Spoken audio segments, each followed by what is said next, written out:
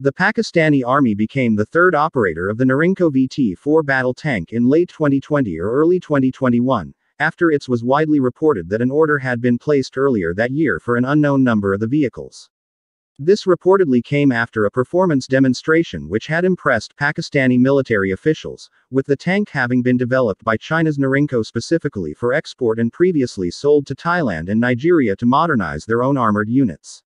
While Pakistan's armored units are made up almost entirely of Chinese designs, the most capable of which were previously the Al Khalid and Al Zarrar, the VT-4 took the place of the most capable tank by far in the country's inventory. The tank's GL5 active protection system is particularly highly regarded, and can detect incoming projectiles and fire pairs of rockets at them with the double detonation sufficient to neutralize most threats. The VT-4's 1,300 horsepower diesel engine is also considered very powerful for a vehicle of its size, with the tank benefiting from torsion bar suspension, an integrated hydraulic transmission system and automatic gear transmission for steering and acceleration. The VT-4's 125mm main gun has access to a range of advanced specialized munitions to engage particular types of targets, and its sophistication allows it to compete at a peer level to much heavier tanks.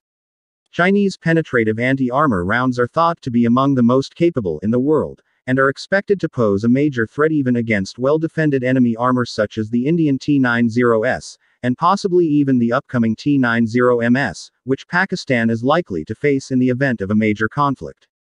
Although not as capable as the heavier Type 99A relied on by China's own armed forces, the VT-4 uses many of the same technologies and may well be more cost-effective. The export-oriented tank is has lower maintenance requirements meaning even countries with more limited budgets can field several large units. It remains uncertain how many of the tanks Pakistan intends to purchase, but considering prior trends in acquisitions by the country an order for over 300 tanks, and potentially many more, is far from unlikely. China's third and fourth tank designs, the VT-4 and Type 15, and closely related designs developed in parallel, with the former being a sophisticated low-maintenance medium-weight tank built exclusively for export, and the latter being a lightweight design built for mountain and amphibious warfare. The VT-4 has seen exports to Thailand, Nigeria and Pakistan and reportedly made a strong impression for its advanced performance, with the tank benefiting from many shared subsystems and technologies from the Type 99. The tank is relatively cheap to manufacture, but can reportedly penetrate 700 mm of armor which only a small fraction of operational tanks in the world can do.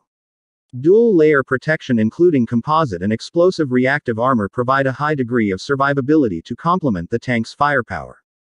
The complementary Type 15 is approximately 40% lighter than the Type 99 and is the only modern Chinese tank not to use a 125mm cannon with the smaller vehicle accommodating only a 105mm cannon.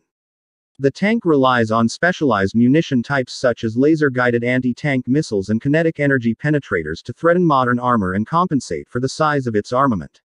The Type 15 is prized for its ability to operate effectively in mountainous regions in western China, which provides a particularly important advantage over neighboring India which lacks any similar mountain-friendly tanks. It notably has a very advanced hydro-pneumatic suspension system which dynamically adjusts ground clearance to maximize maneuverability and combat efficacy in rough terrain. Thanks for watching.